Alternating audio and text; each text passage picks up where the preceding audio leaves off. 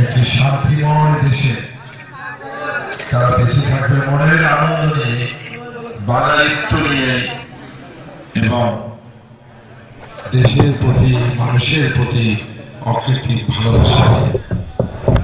আমাদের লালন শাহজি তিনি যে পথ দেখিয়ে গেছেন তার জীবন দর্শন। সেই জীবন দর্শনে আপনারা অনেকেই উদ্বুদ্ধ আছেন। আপনারা